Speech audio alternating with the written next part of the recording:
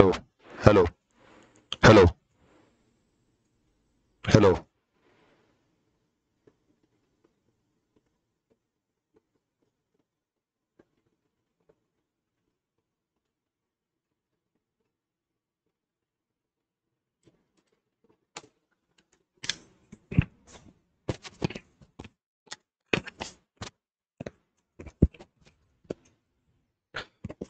Okay, so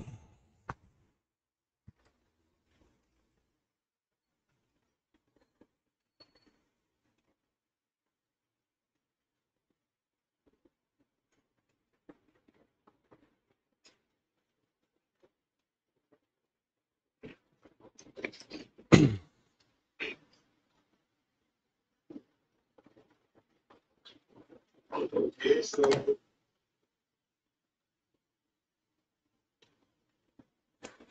good evening everyone and welcome to the text book super coaching platform आप सभी का text book super coaching platform में स्वागत है। आप सभी के पॉलिटिकल साइंस की लाइव क्लास में आप सभी का स्वागत है ओके वेलकम टू सेशन सभी लोग जल्दी से जुड़ते जाइए। वेलकम टू सेशन एंड आज जो है, हम इंडियन पॉलिटिकल थॉट मतलब यूनिट नंबर थ्री आपके सिलेबस के यूनिट नंबर थ्री से जयप्रकाश नारायण के विचारों के बारे में कुछ पढ़ने वाले हैं, जो कि अपने आप में एक बहुत महत्वपूर्ण विषय है बिकॉज़ अक्सर अगर एग्ज़ाम को देखें तो उनके थॉट पर ओके जो कि उनका सोशल डेमोक्रेटिक आइडिया है डेमोक्रेटिक सोशलिज्म का कॉन्सेप्ट है, या फिर सर्वोदय का विचार है, या फिर संपूर्ण क्रांति का विचार है, इस पर अक्सर हमको सवाल देखने को मिलते हैं और उसी उद्देश्य से आज की एक क्लास रखी है, जिससे इनके विचारों को आप समझ सकें। जयप्रकाश नारायण जी के बिकॉज़ अगर आपने पिछले सवालों को एग्ज़ाम में देखा हो तो कथन आधारित सवाल आए हैं, ठीक है? अच्छे अच्छे लंबे लंबे कथन देकर तीन, चार स्टेटमेंट देके बोला गया है कि इनमें से कौन से कथन जो है जयप्रकाश नारायण से संबंधित है या फिर नहीं है।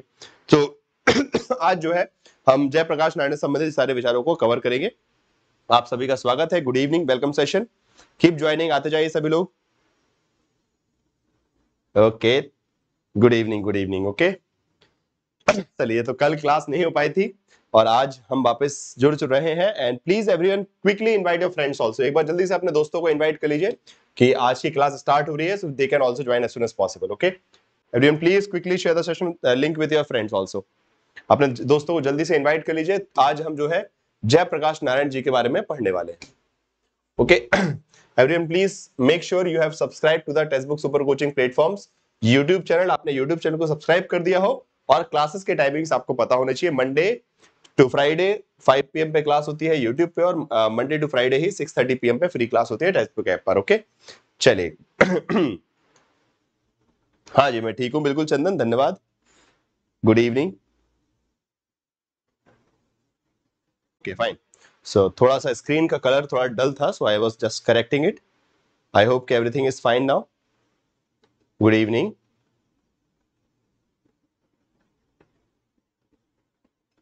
Jayaprakash Narayan is non-congressive.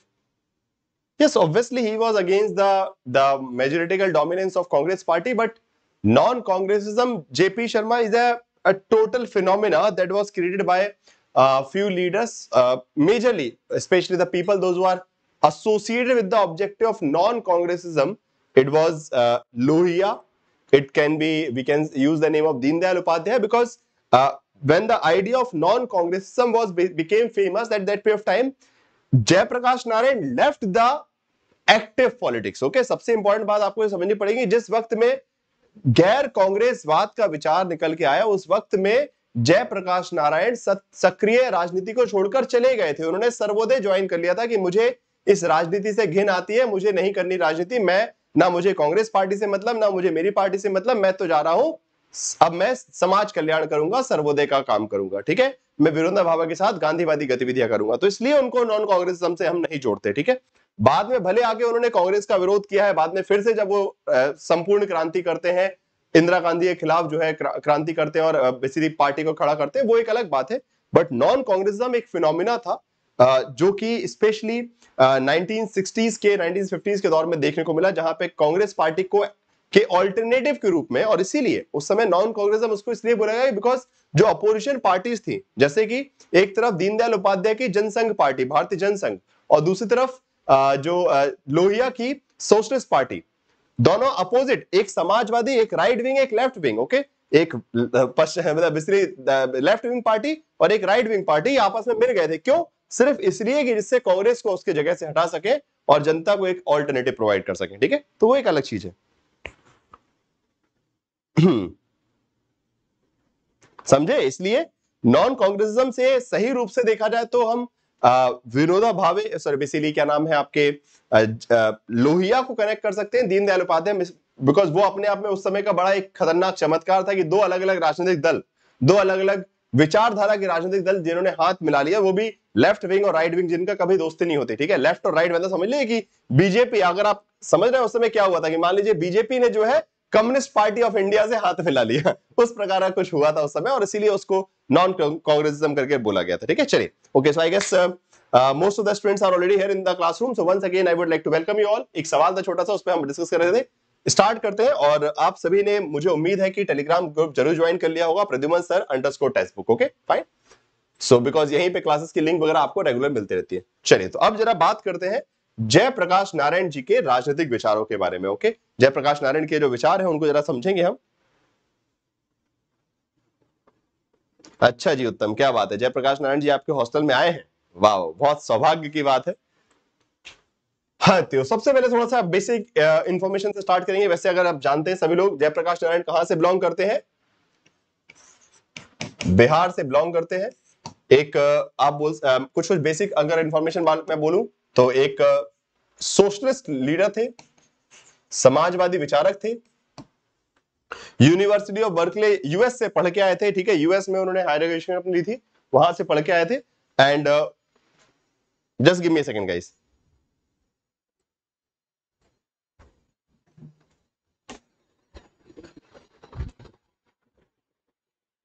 okay so US से स्टडीज़ uh, की थी और उसके बाद uh, वो इंडिया कब आते हैं?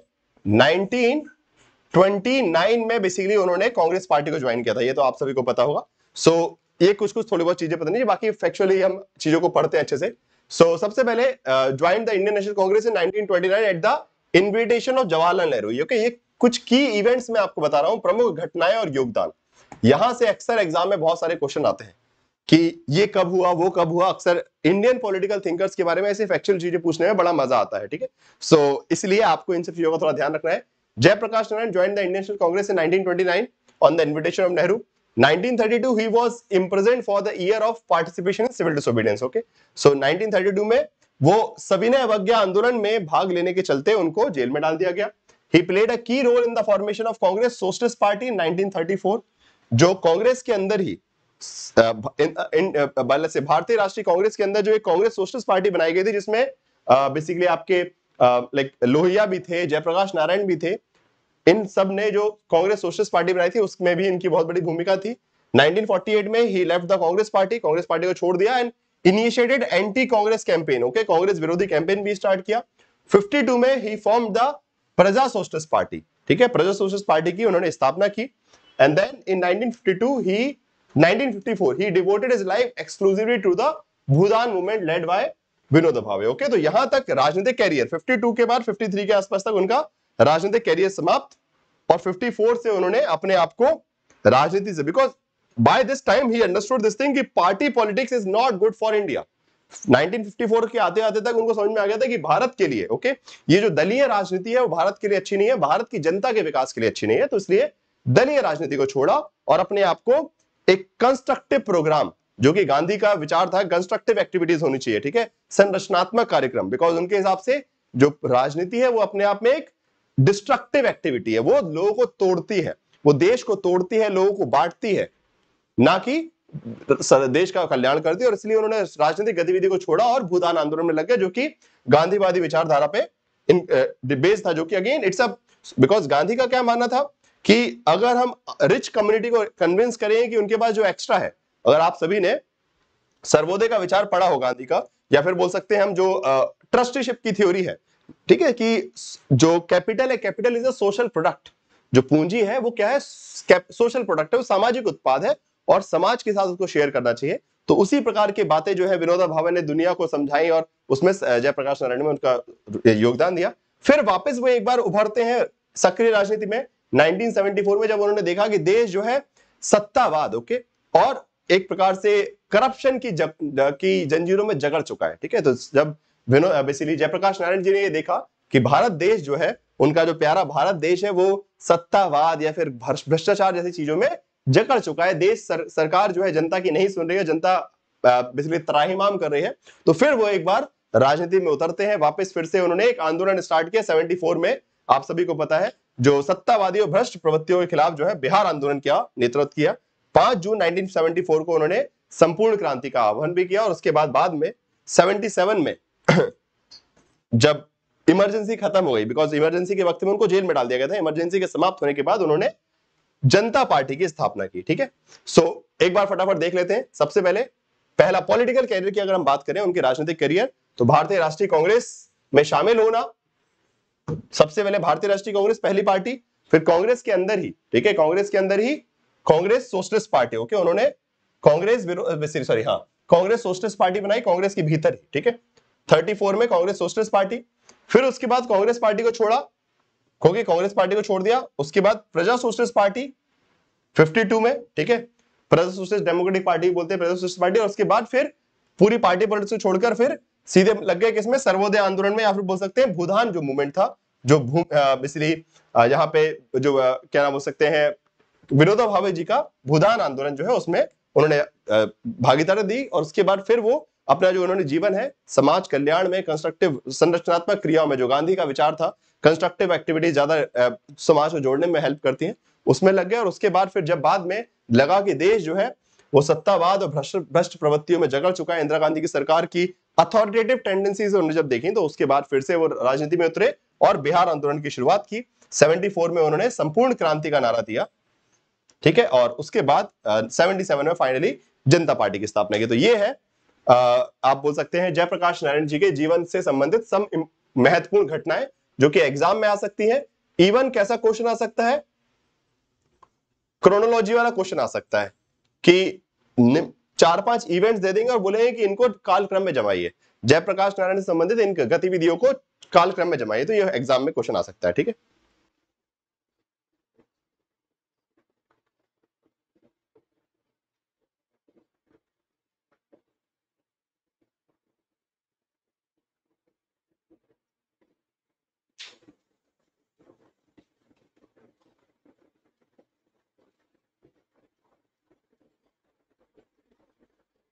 प्रजा सोशलिस्ट पार्टी समझ नहीं आया।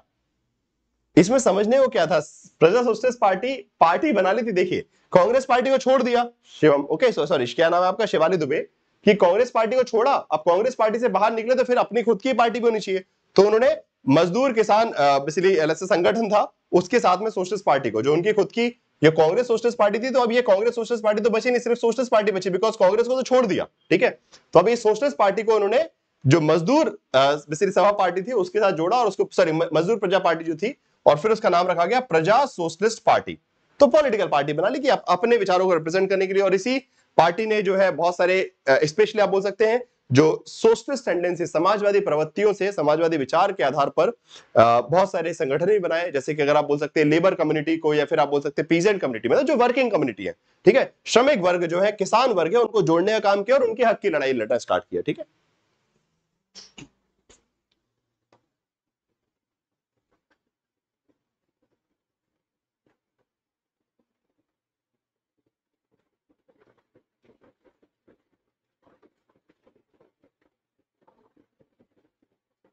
जेपी नारायण की संपूर्ण क्रांति क्या थी? अभी पढ़ेंगे तनेश अभी तो शुरुआत की है।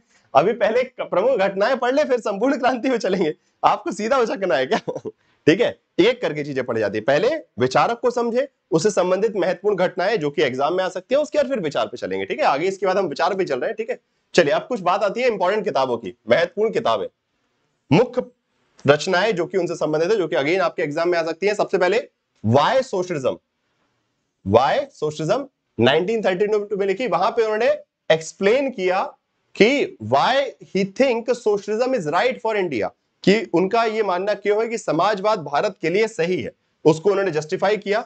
उसके बाद नेशन बिल्डिंग इन इंडिया किताब आती है, फिर प्रेजेंट डायरी ये उस वक्त की पुस्तक है जब उनको जेल में डाल दिया गया था। ठीक है, इंदिरा गांधी की सरकार के द्वारा। उसके बाद में टुवर्ड्स द टोटल रेवोल्यूशन ये पुस्तक आती है जहाँ पे संपूर्ण क्रांति का, संपूर्ण क्रांति का पूरा विचार दिया गया है। ये कुछ महत्वपूर्ण किताबें हैं।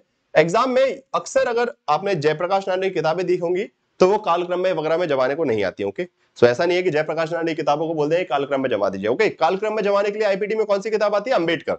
अंबेडकर उनका ऑल टाइम फ़ेमस है, ठीक है? जिसको पिछले, कम से कम पिछले चार पाँच साल से हर साल पूछते हैं कि अंबेडकर की इन पुस्तकों को कालक्रम में जमाइए, अंबेडकर की पुस्तकों को कालक्रम में जमाइए तो आप भी अंबेडकर को याद ज़्यादा कर लीजिएगा। बाकी जयप्रकाश नारायण वगैरह में कालक्रम नहीं। जयप्रकाश नारायण के क्वेश्चन को कैसे पूछ सकते हैं? यहाँ पे तीन चार थिंकर्स के नाम और तीन चार अलग अलग किताबों के नाम okay they can give you the name of four different thinkers and four different books and they can ask you to match them up, okay? That's a simple thing. So अलग अलग चार किताबों के नाम, चार थिंकर के नाम वो बोलेंगे आपस में मैच कर दीजिए।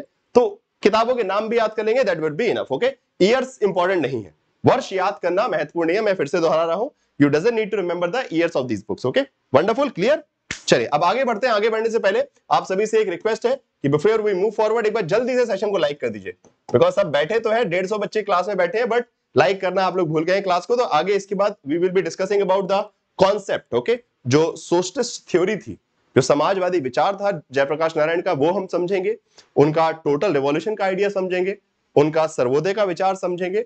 ओके और भी कुछ इंटरेस्टिंग जो उन्होंने विचार दिए, उसको हम समझेंगे। बट उससे पहले आप सभी से रिक्वेस्ट है, जल्दी से सभी लोग सेशन को लाइक कीजिए, एक बार शेयर कर दीजिए। फटाफट, जल्दी से। Come on everyone quickly like the session and text book super coaching platform पे भी आप जो है प्रॉपर प्रिपरेशन कर सकते हैं। With the help of a single subscription एक सब्सक्रिप्शन लेकर आप पेपर नंबर वन की सारी क्लासेस पेपर नंबर टू की सारी classes notes study sorry sorry study notes classes live classes recorded classes सब कुछ ओके मॉक टेस्ट जो भी आपकी प्रिपरेशन के लिए रिक्वायर्ड होता है, वो सिंगल सब्सक्रिप्शन में आपको text book super coaching platform में मिल जाएगा।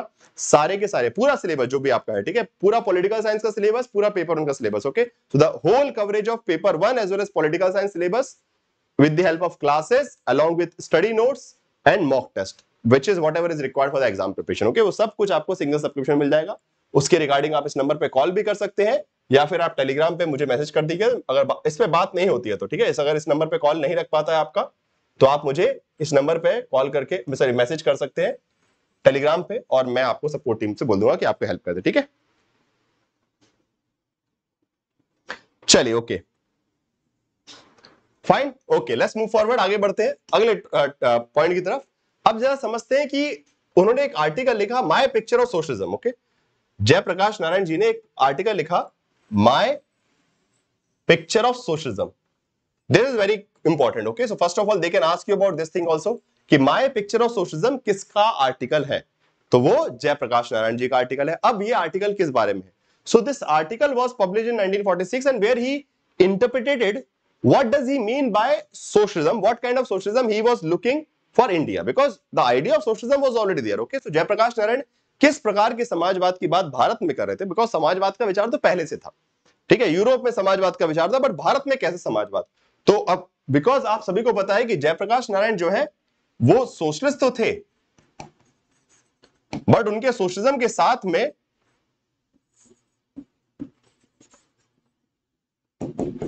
गांधीजम भी जुड़ा हुआ था। गांधीवाद भी जो है, गांधी की जो विचारधारा, उसका भी असर था, ठीक है? तो समाजवाद प्लस गांधीवाद ओके ये दोनों कंबाइन होकर फिर उनके जो विचार निकल के आते हैं, जो डेमोक्रेटिक सोशलिज्म को बोलते हैं, लोकतांत्रिक समाजवाद ओके जयप्रकाश नारायण के हम विचारों को मुख्य रूप से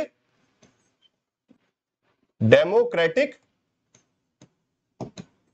सोशलिज्म मानते हैं। अब ये डेमोक्रेटिक सोशलिज्म क्या है? अगर हम जयप्रकाश, बिकॉज़ देखिए अगर इंडिया में बात करें, डेमोक्रेटिक सोशलिज्म सभी विचारों ने दिया है, ठीक है? भले हम जयप्रकाश नारायण की बात करें, लोहिया की बात क्यों ना करें, नेहरू की बात क्यों ना करें, सब लोकतांत्रिक समाजवादी है, ठीक है? जब भारत में पैदा हुए और भारत की बात कर रहे हैं तो समाजवाद तो उनको पसंद था ही, ठीक है? बिकॉज़ वो पश्चिम से सीख के आए थे समाजवाद और भारत में रह रहे थे तो लोकतंत्र की तो बात बिकॉज़ हम लोकतंत्र की लड़ाई लड़ रहे थे, ठीक है? कि हमको अपना शासन चाहिए, हम ब्रिटिश के खिलाफ लड़े थे लोकतंत्र की वैल्यू थी। तो भले वो नेहरू हो, चाहे वो जेपी नारायण हो, चाहे वो लोहिया है, सबने लोकतांत्रिक समाजवाद की बात की है। बट उसमें अंतर क्या है? अंतर समझना पड़ेगा कि कैसे जयप्रकाश नारायण का अलग है, कैसे लोहिया का अलग है, कैसे नेहरू का अलग है, ठीक है? सो अब अगर हम जयप्रकाश नारायण की बात करें तो मैं इसको बहुत शॉर्ट शॉर्ट में समझाऊँगा। दो शब्द है यहाँ पे, डेमोक्रेटिक। तो उन्होंने क्या बोला? People should control state and state should control economy. बस, इतनी सी बात है। जनता जो है, राज्य को चलाएगी मतलब राज्य को, राज्य कैसा होगा, ये जनता निर्धारित करेगी okay the power of the state will in will be in the hands of the people तो ये क्या हो गया? डेमोक्रेसी बहुत आसान तरीका समझने का इसको। डेमोक्रेटिक सोशलिज्म दो शब्द है। लोकतांत्रिक समाजवाद। सो जनता राज्य को निर्धारित करेगी, राज्य कौन है? राज्य की सरकार कौन है? ये सब, ठीक है? मतलब देश की सरकार कौन है? कौन रूल करेगा? ये सब निर्धारण करना कैसे रूल करेगा ये सब? जनता निर्धारित करेगी okay so people control the state okay तो all the state power is in the hands of the people राज्य की सारी शक्तियाँ जनता के हाथ में। और आर्थिक व्यवस्था, वो सब राज्य के हाथ में। तो इनडायरेक्टली क्या बोल सकते हैं? जनता के हाथ में ही आर्थिक व्यवस्था है। जनता के हक में ही। मतलब जो सोशलिज्म का आइडिया है। सोशलिज्म का आइडिया क्या है? Common ownership of the resources समाजवाद क्या कहता है कि संसाधनों का मीन्स ऑफ़ प्रोडक्शन का, उत्पादन के साधनों का सार्वजनिक स्वामित्व। यही समाजवाद कहता है। Okay the concept of socialism is very simple कि common ownership of the resources okay means of production जो है, सार्वजनिक रूप से स्वामित्व। तो राज्य state because what happens in socialist society state will plan all the economical okay economical planning का जो कॉन्सेप्ट है, आर्थिक आर्थिक नियोजन का जो विचार है, वो कहाँ पे समाजवाद में, ठीक है? हमने भी आर्थिक नियोजन का विचार लिया है, ठीक है? So state will control the economy and people will control the state okay राज्य जो है आर्थिक व्यवस्था को मेंटेन करेगा इकोनॉमिकल रिसोर्सेज के डिस्ट्रीब्यूशन उसका यूज़ कैसे, क्या प्रोडक्शन करना है, क्या नहीं करना है, किसको देना है, किसको नहीं देना है, उसका बेनिफिट किसको जाना है, ये सब राज्य निर्धारित करेगा। और राज्य कौन क्या क्या करेगा, क्या नहीं करेगा, ये कौन निर्धारित करेगा? जनता। ये हो गया लोकतांत्रिक समाजवाद। बहुत simple okay in simple manner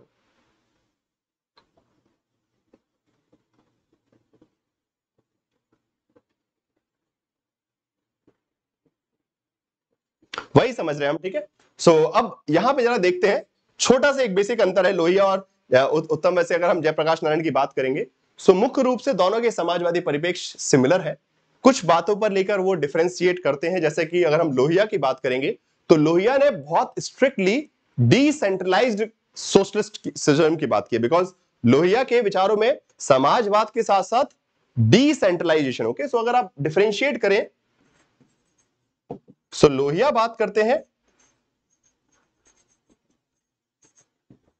decentralise socialism और जयप्रकाश नारायण बात करते हैं डेमोक्रेटिक सोशलिज्म की ओके सो so, यहाँ पे डिसेंट्रलाइज सोशलिज्म में सोशलिज्म की वैल्यू वही है बट डिसेंट्रलाइजेशन मुख्य रूप से गांधी का आता है ठीक है? विकेंद्रित विकेंद्रीकरण करना पॉलिटिकल इकोनॉमिकल डिसेंट्रलाइजेशन ओके यहाँ पे विकेंद्रीकरण जो है राजनीतिक और आर्थिक व्यवस्था का पूरी तरीके से विकेंद्रीकरण मतलब लोहिया जो है किसी भी स्तर पर लार्ज स्केल इंडस्ट्री को पसंद नहीं करते। वो कुटीर उद्योग की बात करते हैं स्मॉल मशीन की बात करते हैं। कि छोटी कंपनी, छोटी मशीन, बड़ी टेक्नोलॉजी का उपयोग नहीं production by the masses because Lohia पे जो प्रभाव है, वो गांधी का काफ़ी ज़्यादा था। बट हम जयप्रकाश नारायण पे जब आते हैं तो गांधी से प्रभावित ये भी थे। जयप्रकाश नारायण गांधी से प्रभावित थे, परंतु इन्होंने लार्ज स्केल इंडस्ट्रीज़ की बात की, कि लार्ज स्केल इंडस्ट्री हो सकती है बट परंतु वो large scale industry community owned होंगी। तो बड़े उद्योग, ठीक है, जिस एक बड़ी इंडस्ट्री में सारी चीज़ें बन रही हैं, वो हो सकता है। परंतु जयप्रकाश लोहिया ने कभी उसका समर्थन नहीं किया। लोहिया ने बोले नहीं स्मॉल मशीन स्मॉल इंडस्ट्री का उपयोग करेंगे आप। बड़ी इंडस्ट्री बड़ी मशीन का उपयोग करेंगे तो क्या होगा? अनएम्प्लॉयमेंट होगा। ठीक है? बेरोजगारी बढ़ेगी बिकॉज़ अब सारा काम जब मशीनें करेंगी तो सीधी बात है इंसान घर में बैठा रहेगा और वो बेरोजगार होगा।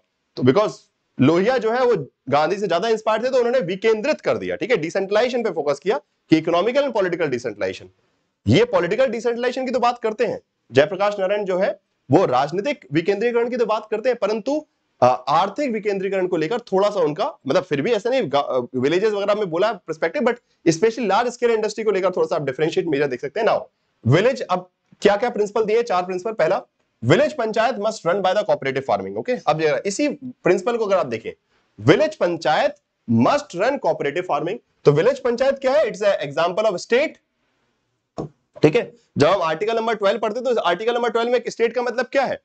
स्टेट का मतलब राज्य की सभी गतिविधियाँ सारे सारे इंस्टीट्यूशन पुलिस डिपार्टमेंट जितने भी डिपार्टमेंट्स है okay administrative bureaucracy judiciary executive legislature सब कुछ स्टेट सबको हम मिला के स्टेट ही बोलते हैं, ठीक है?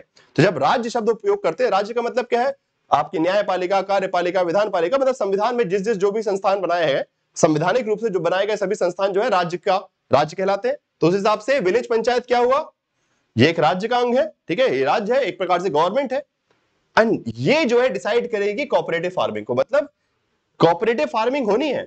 एक सहकारी खेती तो करनी है। सहकारी खेती तो निजी स्तर में भी कर सकते थे कुछ। कुछ गाँव के लोग मिल गए खेती कर ली, वो भी सहकारी खेती हो सकती है। बट उन्होंने बोला कि नहीं, सहकारी खेती हो बट उसको कंट्रोल कौन करेगा? राज्य करेगा। डेमोक्रेटिक सोशलिज्म तो state will control the economy मतलब जो विलेज पंचायत है वो कॉपरेटिव फ़ार्मिंग को मेंटेन करेगी। ठीक है, अब आगे देखिए, अब इस बट विलेज पंचायत कैसे बनती है? ग्राम सभा से बनती है। ठीक है, ग्राम सभा तो जनता विलेज पंचायत को चलाएगी और विलेज पंचायत उस गाँव की अर्थव्यवस्था को चलाएगी। This is what we was talking about okay ये वो कहना चाह रहे थे।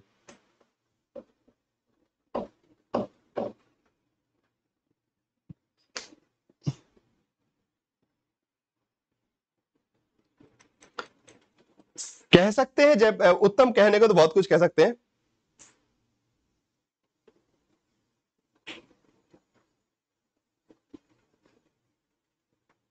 ये रोहित शर्मा, आप बड़ा मैसेज लिख लिख के डिलीट करते रहते हैं, क्या चलते रहता है आप लोगों का? क्लास में। पढ़ने का मन नहीं है तो बता दीजिए, मेरे पास बहुत अच्छा एक उपाय है, मैं यहाँ से ब्लॉक कर सकता हूँ। तो ये समस्या खत्म हो जाएगी। मैं देखता हूँ, अक्सर आपका पूरे टाइम कुछ डिस्टर्बेंस चलते रहता है, ठीक है? सो रोहित शर्मा, महान बल्लेबाज है बट आप महान स्टूडेंट मुझे लग नहीं रहे तो आपको आखिरी बार वार्निंग है। आगे से अगर क्लास में डिस्टर्बेंस मुझे दिखा तो आपको फिर मुझे क्लास से बाहर करना पड़ेगा, ठीक है? फाइन चलिए।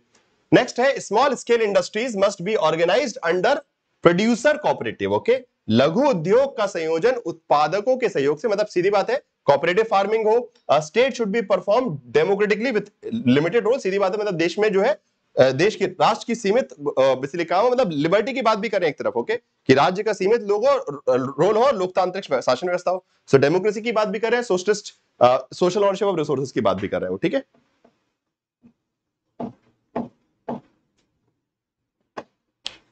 फोर पिलर तो नहीं बोल सकते आप उसको प्रॉपरली वो चौखंबा मॉडल अपने आप में अलग है। एक्चुअली देखिए प्रॉब्लम क्या है ना? उत्तम अगर सही रूप से समझा जाए कि जयप्रकाश नारायण हो चाहे वो लोहिया हो, वो एक ही शाख में बैठे हुए दो समाजवादी थे, ठीक है?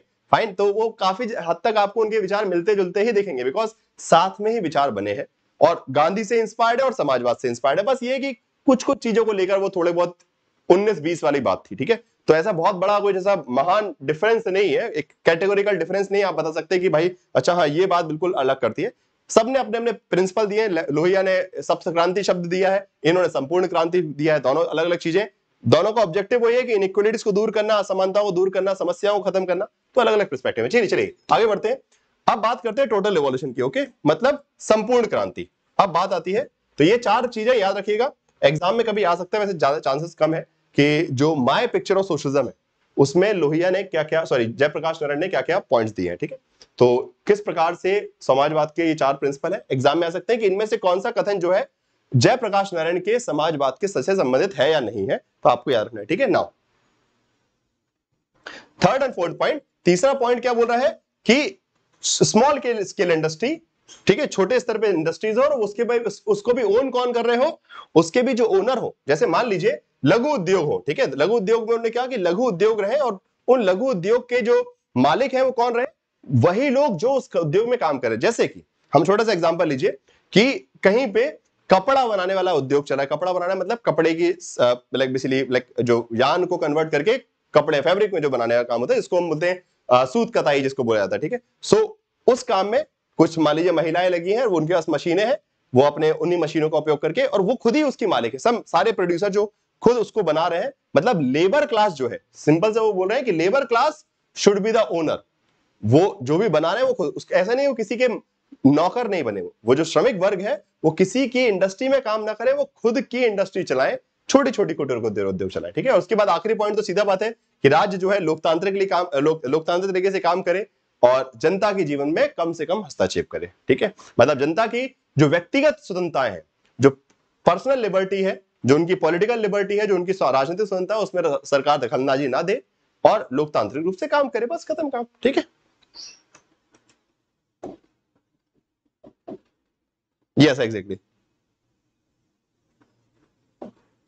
हाँ जी, अब आगे जरा बढ़ते हैं और टोटल रिवॉल्यूशन की बात करते हैं ओके सो जयप्रकाश नारायण ने during the Bihar movement okay Bihar आंदोलन के वक्त में 1970s के मध्य में उन्होंने जो है, संपूर्ण क्रांति का विचार दिया। टोटल रिवॉल्यूशन का कॉन्सेप्ट दिया। भाई टोटल रिवॉल्यूशन क्या है? काफ़ी बार मैंने वैसे आपको पढ़ाया है कि टोटल रिवॉल्यूशन में सात सिद्धांत आते हैं।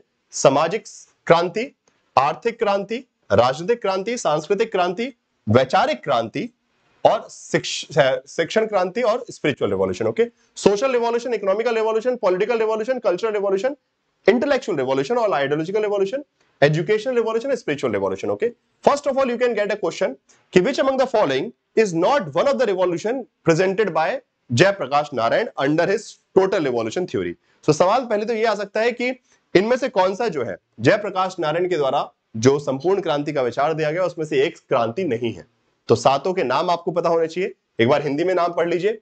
सामाजिक क्रांति, आर्थिक क्रांति, राजनीतिक क्रांति, सांस्कृतिक क्रांति, वैचारिक क्रांति, शैक्षिक क्रांति और आध्यात्मिक क्रांति। ये अलग अलग क्रांतियों के बारे में बात की गई है। एक बार फटाफट समझ लेते हैं कि सबका मतलब क्या है। सबसे पहले सोशल रिवॉल्यूशन, सामाजिक परिवर्तन। मतलब सोशल सिस्टम को चेंज करना, इट मीन कि सोशल जो बिहेवियर है, सोशल इनइक्वालिटीज, जो समाज में दुराचार चल रहा है, ऊंच नीच चल रही है उसको समाप्त करना। So revolution okay it mean की change to bring a change okay the idea of revolution is always to revolution का मतलब क्या होता है okay to break the current paradigm okay current paradigm and bring a new system कभी भी कोई क्रांति है तो उसका उद्देश्य क्या होता है कि अभी स्थापित जो व्यवस्थाएँ हैं, उसको समाप्त करना अभी जो पावर स्ट्रक्चर है सोशल स्ट्रक्चर है, जो डिवीज़न है सोसाइटी में, उसको समाप्त करना और एक नई व्यवस्था को जन्म देना। ब्रिंग सोशल चेंज ओके तो हमेशा जो है, बदलाव लाना ही एक क्रांति का उद्देश्य होता है उसी प्रकार सामाजिक बदलाव। आर्थिक बदलाव की आर्थिक व्यवस्था जो है, जैसे मान लीजिए, अब अंतर देखिए यहाँ पे। आर्थिक बदलाव क्यों? बिकॉज़ उस वक्त में जो जिस प्रकार की इकोनॉमिकल सिस्टम इंडिया में चल रहा था तो वहाँ पे India large scale industry government owned large scale industry okay हमारा देश कैसे काम कर रहा था? नेशनलाइजेशन किया था, ऐसा नहीं है, ठीक है? राष्ट्रीयकरण जो है, वो इंदिरा गांधी जी ने किया था, अगर आपको पता है, और इस बात का समर्थन जय जयप्रकाश नारायण करते हैं, अगर आपको पता हो। जयप्रकाश नारायण ये मानते हैं कि राष्ट्रीयकरण होना चाहिए। जो बेसिकली आप बोल सकते हैं एक प्रकार से, जितने भी लाइक मीन्स ऑफ़ प्रोडक्शन है, उत्पादन के जो साधन है, जैसे कि बैंक है, ठीक है? इंडस्ट्रीज़ है, जो पब्लिक सेक्टर अंडरटेकिंग मतलब जो बेसिकली सॉरी जो जितने भी एंटरप्राइजेस हैं प्राइवेट उनको सरकारी कर देना चाहिए। उनका उनका राष्ट्रीयकरण कर देना चाहिए। इस बात का जयप्रकाश नारायण समर्थन करते और इंदिरा गांधी ने वही किया था। बट अब फिर भी अंतर क्या था कि जो राष्ट्रीयकरण किया था उसमें उन वो जो जितनी भी कंपनियाँ हैं वो केंद्र सरकार के द्वारा कंट्रोल की जा रही थी। उनका राज्य सरकार के पास कोई अधिकार नहीं या फिर गाँव स्तर पर उनका कोई उन पर किस, किसी जनता का अधिकार नहीं। तो उन्होंने बोला इकोनॉमिकल सिस्टम को भी चेंज करना पड़ेगा। हमको इकोनॉमी को एक सेंट्रलाइज्ड ऑर्डर की जगह डिसेंट्रलाइज करना पड़ेगा। मतलब आर्थिक व्यवस्था जो हमारी है जो पैसा हम कमा रहे हैं इकोनॉमिक सिस्टम हमारा चल रहा है, उसमें केंद्रीकरण जो दिख रहा है हमको सेंट्रलाइजेशन को हमको डिसेंट्रलाइजेशन में बदलना पड़ेगा। ये परस्पेक्टिव इकोनॉमिकल रिवॉल्यूशन में आता है। पॉलिटिकल रिवॉल्यूशन ओके और सोशलिस्ट परस्पेक्टिव है। पॉलिटिकल रिवॉल्यूशन सीधी बात है ओके राजनीति की जगह राजनीति से लोकनीति, ठीक है? राजनीति से लोकनीति की तरफ़ चलना बिकॉज़ राज कर नहीं करना है आपको okay being a political party it is not your duty to rule over the people you are there to serve the people मतलब जो राजनीतिक दल है, उनका उद्देश्य सिर्फ़ सत्ता हथियाना नहीं, जनता की सेवा करना होना चाहिए, जनता के लिए काम करना है, ठीक है? आज के वक्त में क्या हो गया है? पॉलिटिक्स का सीधा मतलब है कि हमको तो जीतना है, उसके बाद भले कितनी निकम्माई हो रही हो, ठीक है? देश में कचरा मचा हुआ है, ठीक है? हमेशा से, आज की बात नहीं है कि आज की पॉलिटिकल पार्टी की बात कर रहा हूँ। जब देखो इन सबने अपनी मर्यादा को तो ऐसा कहीं कचरे डाल में डाल दिया और खुलेआम झूठ बोलते हैं मतलब ठीक है? अगर आप संसद में देखिए क्या क्या चल रहा है खुलेआम मतलब पक्ष हो चाहे विपक्ष हो ठीक है? बीजेपी हो चाहे कांग्रेस हो चाहे आम आदमी पार्टी हो कुछ भी बोल रहे हैं और कुछ भी कर रहे हैं ठीक है? मतलब नैतिकता को तो बिल्कुल कहीं बाहर फेंक दिया है कि कहीं इस, इसके बारे में तो बात ही नहीं होनी चाहिए ठीक है? गंद मची हुई है जनता का जनता तो भाड़ में जाए सीधी बात है चुनाव जीतना है ठीक है? उसके अलावा और कोई उद्देश्य मतलब भले वो मोदी जी हो, चाहे भले वो योगी जी हो, चाहे वो राहुल गांधी हो, चाहे प्रियंका गांधी हो, चाहे एक्स जेड जितने भी हो, किसी का जनता कल्याण उद्देश्य है नहीं। बहुत क्लियर वे में बोल सकता हूँ, ठीक है? किसी से डर नहीं लगता। किसी को जनता का कल्याण नहीं करना, किसी को नहीं पड़े जनता की। जनता मरे, जिए, कुछ नहीं फ़र्क पड़ता। सत्ता रहनी चाहिए, ठीक है? वो सत्ता रहने के लिए भले मणिपुर में जो हो रहा है, वो चलने दीजिए, ठीक है? अगर मैं आपको छोटा सा एग्ज़ाम्पल दू, आज की राजनीति देखिए बीजेपी और ये सबके साथ होता है। इट्स नॉट लाइक अबाउट की बीजेपी की बात कर रहा हूँ मैं। कांग्रेस पार्टी भी तो वही करती। बीजेपी सेंट्रल गवर्नमेंट में है। मणिपुर वाला इनिशिएटिव अगर आप समझेंगे तो कितनी घटिया राजनीति चल रही है। बिकॉज़ बीजेपी का केंद्र सरकार है और बीजेपी की ही मणिपुर में स्टेट गवर्नमेंट है, ठीक है? तो इसलिए प्रेसिडेंशियल रूल अभी वो भूल गए कि आर्टिकल 350 356 या फिर 365 हमारे पास है। जो वो राष्ट्रपति शासन लगाने वाला जो काम है ना, वो भूल गए।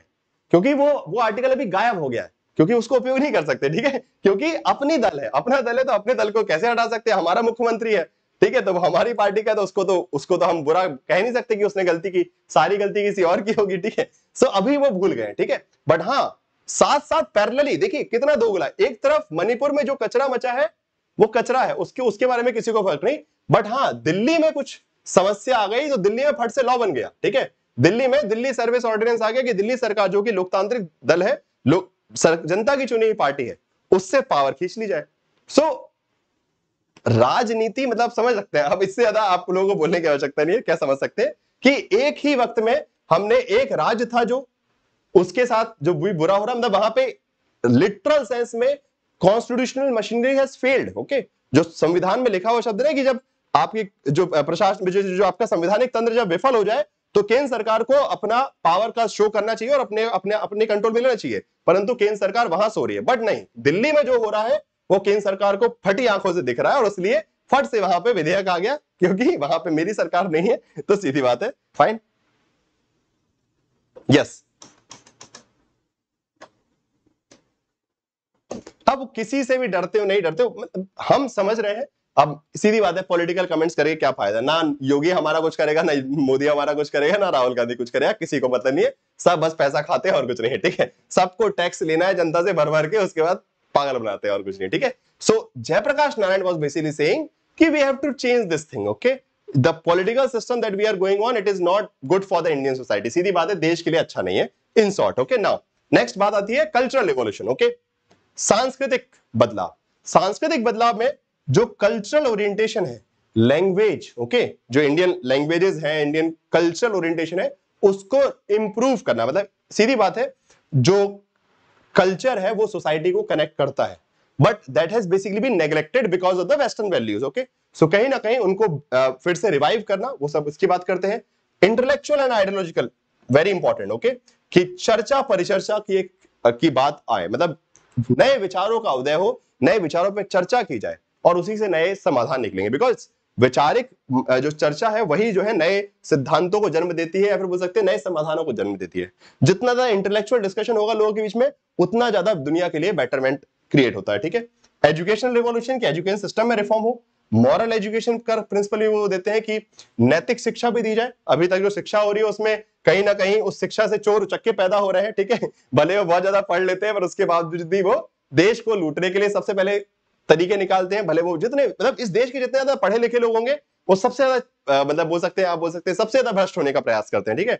सबसे ज़्यादा इंटेलिजेंट आई ऑफिसर है, ठीक है? या फिर बोल सकते हैं सबसे कठिन एग्ज़ाम आईएएस ऑफिसर अगर उससे और कठिन एग्ज़ाम देखिए सीए का एग्ज़ाम होता है, ठीक है? चार्टेड अकाउंटेंट उनका भी काम होता है कैसे करके हम जितना ज़्यादा जो है धोखा कर सके मतलब ऐसे बहुत सारी चीज़ें हैं।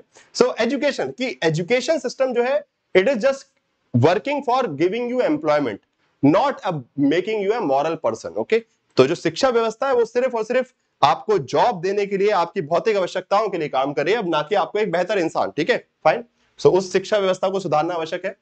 स्पिरिचुअल रिवॉल्यूशन मतलब बोल सकते हैं, आध्यात्मिक क्रांति, आध्यात्मिक स्तर पे, आध्यात्मिक स्तर पे बदलाव लाना बहुत आवश्यक है बिकॉज़ जो spiritual again because he is a Indian political thinker सीधी बात है, जयप्रकाश नारायण भारत से ही है तो भारत को जिसने नहीं छोड़ा, वो आध्यात्म को नहीं छोड़ सकता।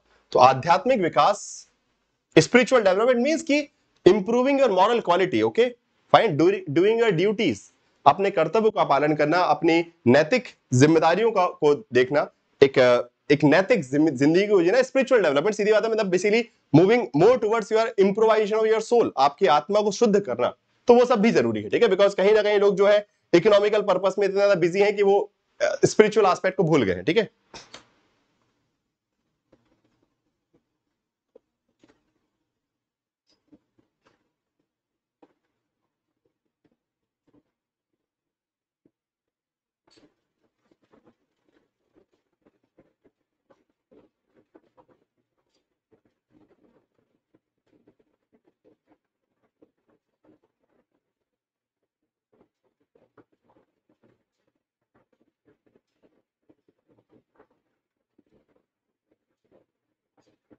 चलिए okay now so I guess this total revolution is clear now last में बस एक छोटा सा पॉइंट है। Uh, जयप्रकाश नारायण ने एक कॉन्सेप्ट दिया है जीवन दान का ओके okay? जीवन दान का एक कॉन्सेप्ट दिया है। So so, uh, Bhoodan Sarvodaya like different kind of dance की बात बेसिकली की है।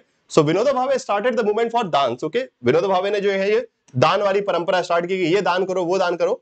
सो so, उसी में, थोड़ा सा और आगे बढ़ते हुए his Bhoodan and Gramdan movement was comprehensive enough to improve the basically sadhan daan sharing together the means okay buddhi daan okay prem daan so like love affection and multiple things in short the meaning of daan okay so यहाँ पे let's दान का जो है concept basically चला था और इसमें फर्दर इंक्लूजन जो है बेसिकली किया है जयप्रकाश नारायण ने ठीक है?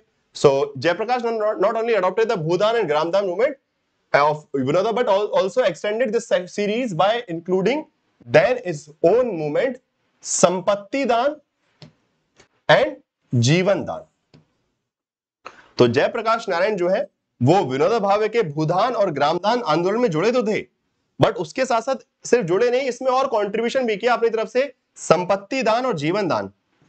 ये दो और जोड़े ओके अब संपत्ति दान का मतलब क्या है? शेयरिंग टुगेदर प्रॉपर्टी ओके मतलब जो भी आपकी संपत्ति है, उसको शेयर करना with other people okay and property any kind of property and jeevan daan sharing together the whole life and devoting it to the welfare of the people मतलब अपने जीवन को।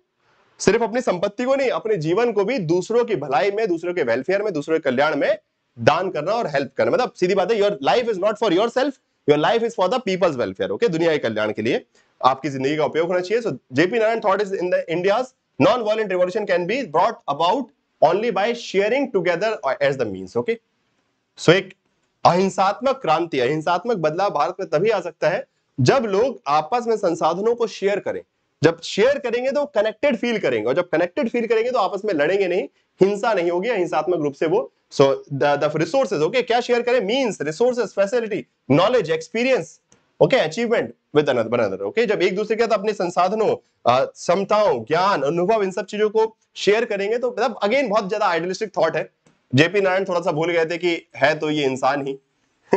जिनके बारे में हॉप्स ने बोला था कि ये क्या होते हैं? स्वार्थी होते हैं ठीक है? ये लालची होते हैं ये कपटी होते हैं ठीक है?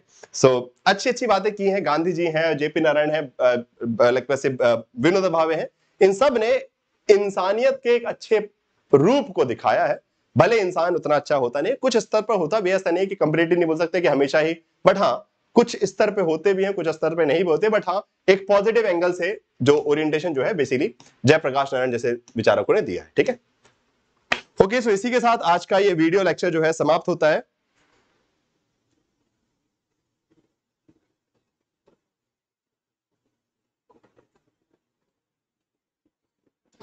अच्छा जी, दिवांकर जी, मज़े ही ले रहे हैं आप लोग। फाइन चलिए सो दोस्तों, इसी के साथ आज का सेशन यही समाप्त होगा। बाकी सिक्स थर्टी पीएम पे फिर मिलेंगे।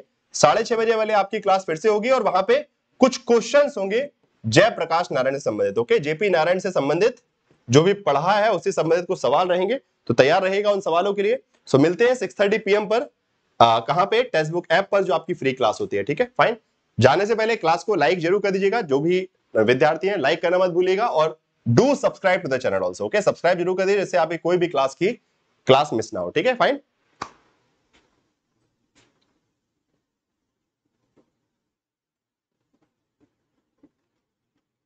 चलिए bye bye thank you everyone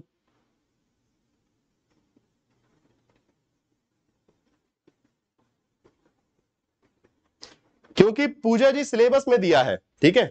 जो सिलेबस में दिया, उनको हम पढ़ते हैं, ठीक है? फाइन अच्छा अभी एक होमवर्क भी जाने से पहले आप सभी के लिए एक होमवर्क क्वेश्चन भी है।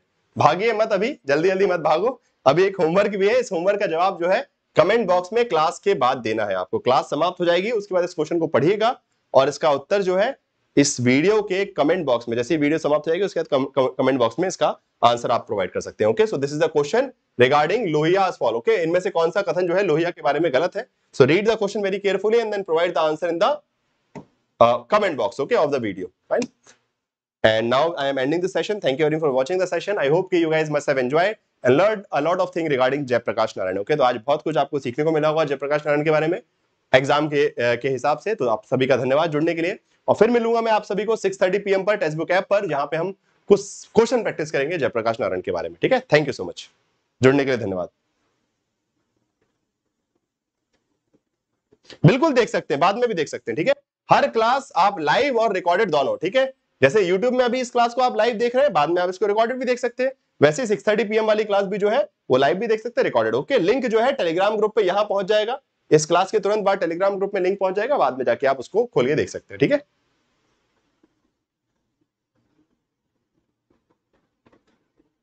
Okay welcome welcome everyone thank you